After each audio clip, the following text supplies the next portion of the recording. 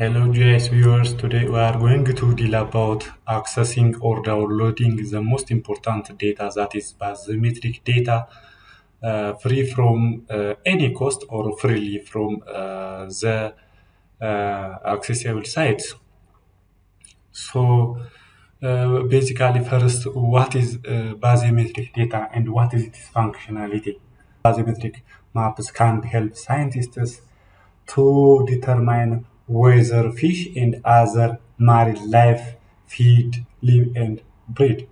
So bathymetric data is also used to create maps of uh, global habitats, that is to assist uh, conservation and monitoring.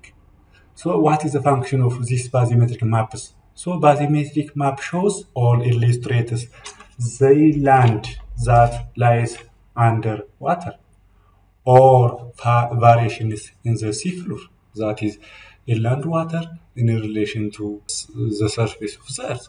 So yeah, this uh, data or this map, uh, if you have a bathymetric data, then you have a bathymetric map. So this map shows how to monitor uh, and conserve the sea environments uh, for further study. So today we are going to download this uh, map simply this map from the site. Firstly, we uh, you can open any browser that is convenient to you.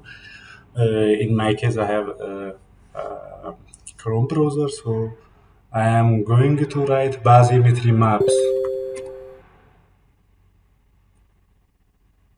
I have searched earlier, so it is pop up, then search. So after writing bathymetric maps, this GEBCO uh, comes as the first place. This means the general bathymetric chart of the oceans. So it deals about the oceans and uh, associated uh, seawater environments. So click on the GEBCO site. So if you click this, uh, this interface comes. Home, data and products, uh, training news and uh, other features you can explore. You can explore further, further, further informations and further documents from here. Uh, this is are the uh, managing editors, the uh, CEO, the chairmen uh, who administer and responsible for these uh, organizations across the world. So uh, as you can see here, this is a general bathymetric chart of the oceans. So this is abbreviations. Uh, so uh, our interest is to download the map. So directly go to download GEBCO global grid. So then click once. If you click once, then you are uh, you can get uh, through different kinds of links. So we are going to we are going to download the most latest one, which is released in 2022. The GEBCO 2022 grid and the TID grid can be downloaded as a global files in in netCDF format or set of eight tiles, each with an area of 90 by 90, giving a global coverage in easily uh, sky raster and data uh, geotiff. So uh, you can download uh, with different formats as you want uh, and uh, convenient to your further analysis. These are highlighted in the blue color download data for user defined areas. So we are we define our areas to download the uh, target uh, our study area rather than downloading the whole world, which is very difficult to, due to its size. So use our application to select and download data data in HCD. As you can see here, if you want to simply download the uh, global data, click on this. So, uh, you don't need to uh, further uh, further processes, but it, as I told you earlier, due to its size and other related issues, we directly go to user defined uh, area. So use our application. Click on application. If you go to click on application, this interface comes. This interface. Select grid version. I, as you can see here, uh, uh, global uh, GEBCO to uh, 2022 uh, 2022 North Polar region, North Polar sub-ice. Uh, different kinds of regional data are available 2021 and the rest, etc. etc. Uh, data are available, but our interest is uh, uh, 2022, the latest release uh, downloads. Directly go to your interest area. For example, for example, uh, you can uh, download any country, any uh, wherever you are placed in the world. But in, uh, for uh, this purpose, let me select around this. This uh, let this is uh, uh, my interest. So let me let me. Uh, what we are going to do is press Control in your uh, keyboard and draw a rectangle for your interest area. So this is my interest area. When I draw this rectangle, it gives what? It is coordinates. It is coordinates. If I don't want these coordinates and I if I want to change these coordinates, uh, just hit uh, clear. So select formats. If you 2D NT CDF, way, this data can be this uh, data can be converted to GeoTIFF and uh, vice versa. So, but in order not to go to that process, just uh, select GeoTIFF. GeoTIFF. So, after uh, selecting the uh, GeoTIFF file format, GeoTIFF uh, uh, file size estimated one megabyte. It is estimated. Then click add to baskets. So go to view baskets. Download your data. Download your data. Preparing your basket for to be downloaded. It says so. Keep until you are going to access your data. Okay. So it comes to be downloaded. As you can see, it is zip. So download the data. Hit download simply. Okay. Let me go to folders.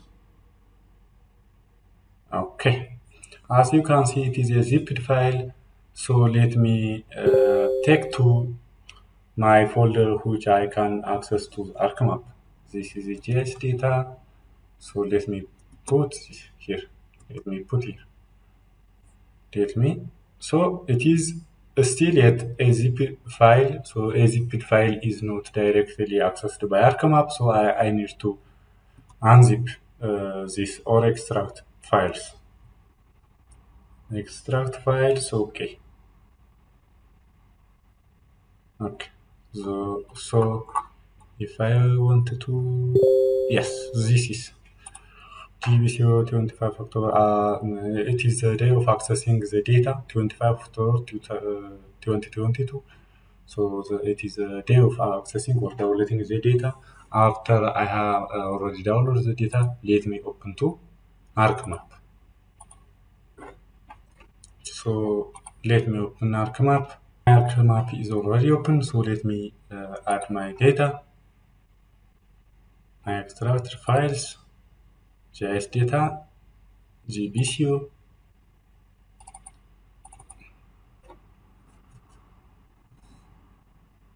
So this is a raster file that I have downloaded from G the GEBCO environment or the uh, data, data accessing portal.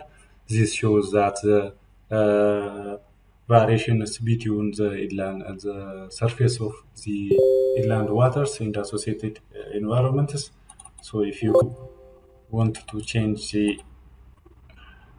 yes, this is the drainage patterns of the inland waters. So you can uh, make some amendments or some changes in symbology and properties.